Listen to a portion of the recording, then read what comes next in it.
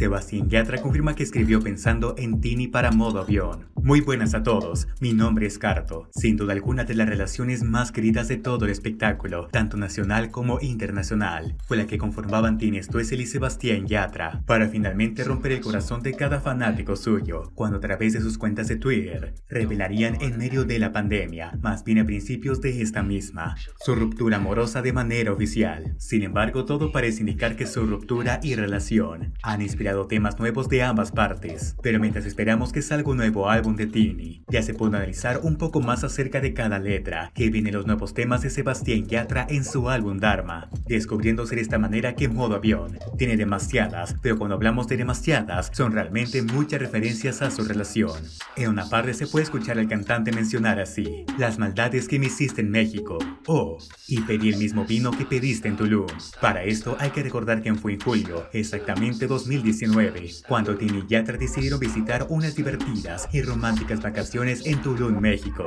siendo captados ante la cámara, finalmente caminando por una playa, jugando en el mar y dándose así uno que otro beso en los camastros, por lo cual finalmente en entrevista con AT, Sebastián Yatra fue cuestionado acerca que sin modo avión habla acerca de la Argentina, a lo que el colombiano explicó que todo el tema no es sobre su relación con ella, pero se confirmó que algunas partes sí hablan de ella, mencionando de la siguiente manera, pongo México y Tulum, cosas muy específicas de mi vida que pasó allá en esta canción. Lo que hice fue llevar la letra hacia donde quiero. Tal vez modo avión no tiene que ver al 100% con mi vida, la forma en la que ha ido, pero hay muchos elementos que tienen, así que cada persona puede tomar lo que quiera de él. De esta manera agregando que todas sus canciones contienen fragmentos de su propia existencia y vida entera. En toda y cada una de las canciones, por supuesto, pongo detalles de mi propia vida. Hay canciones en el álbum que tal vez no se trata de mí, pero luego hay partes y pequeños fragmentos donde cuento mi propia historia dentro de esto, aseguraría Sebastián Yatra,